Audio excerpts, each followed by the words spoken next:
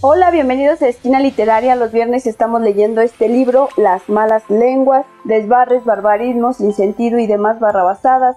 Hoy vamos a leer Chingonzazo con S, Chingonzazo con Z. Espero que les guste.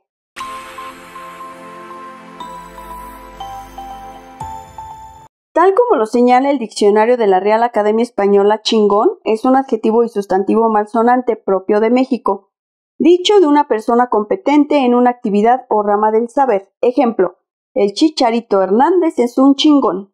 En español, los sufijos on y ona sirven, entre otros usos, para formar sustantivos y adjetivos derivados de verbos sustantivos y adjetivos, con valor aumentativo, intensivo o despectivo de cargar cagón y cagona, de llorar llorón y llorona, de mamar mamón y mamona. Según sea el contexto en el que se utilicen los términos, será el valor que adquieran.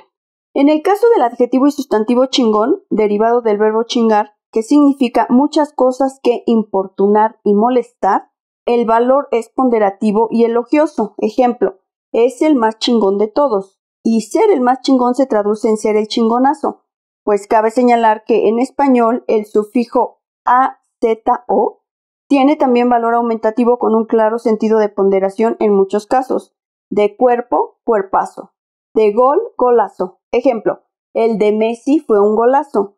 No deja de llamar la atención que en el caso de chingón, ya en sí mismo aumentativo y ponderativo se parta de este término para duplicar o multiplicar su intensidad, con valor admirativo y producir el adjetivo y sustantivo chingonazo, dicho de una persona no solo competente en la actividad, sino el más competente.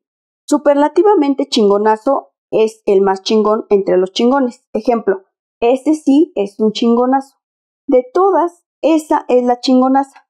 Pero debe decirse y escribirse chingonazo y chingonaza con los correctos sufijos aso y asa, no chingonzazo ni chingonzaza ni chingonzazo ni chingonzaza, que son desbarres del idioma, pues más allá de su mal sonancia o no, todos los términos de nuestro idioma deben ajustarse a las reglas gramaticales y ortográficas.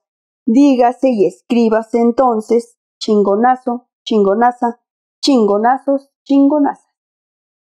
Espero que les haya gustado esta breve lectura de este libro Las malas lenguas. Los espero el próximo viernes para leer otro desbarre, barbarismo sin sentido o redundancia.